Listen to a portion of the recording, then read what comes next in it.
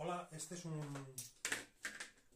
breve vídeo de las herramientas de Make2 o Maquedo, de las tres herramientas que hay, el destornillador con punzón, la sierra segura con punzón y el roller, ¿vale? Eh, para cortar es muy importante tener la sierra, ¿de acuerdo? Pero no menos importante tener el roller, porque ¿para qué sirve el roller? Ahora hablaré del destornillador. Por ejemplo, si tenemos una caja de cartón que queremos cortar, es fácil hacerlo con la sierra. La sierra tiene dos, ¿vale?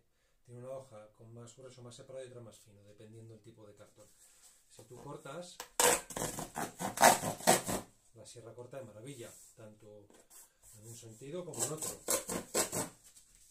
¿De acuerdo? El roller, ¿para qué nos sirve el roller? Por ejemplo, si queremos hacer una hendidura, esta caja ya viene con una hendidura marcada, ¿vale? Y tan fácil como hacer esto. estas son las hendiduras que tiene la caja. Y ahora lo quiero doblar por aquí. Si quiero doblar, a lo mejor me sale bien a la primera o se me tuerce entero. ¿De acuerdo? Con el roller podemos marcar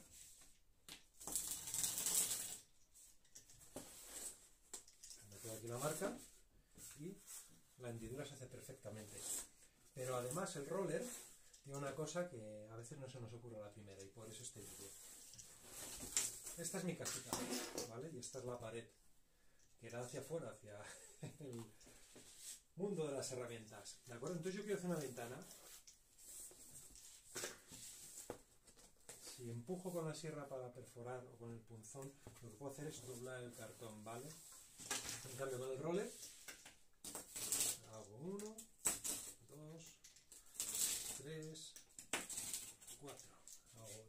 ventana. Y lo siguiente, la sierra. Para abajo. Aquí es que tengo precinto la otra cara. Ahora sí. Ya con la marca esta del roller es mucho más fácil de la otra manera no sería, nos estaríamos arriesgando a arruinar la casa por hacer la ventana. Un poquito más, habría que darle, cosa que tampoco es el objetivo del, del vídeo, pero voy a determinarlo.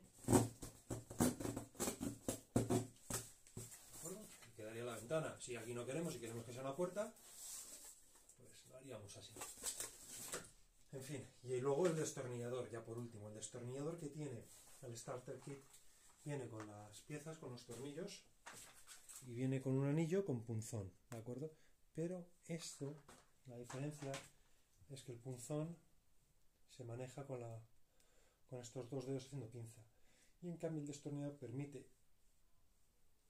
empujar utilizar ya lo que es el brazo y agarrarlo con toda la mano. Bueno, pues eso es lo que os quería contar de las herramientas de Make Club, que creo que son muy interesantes y dan mucho juego. Saludos.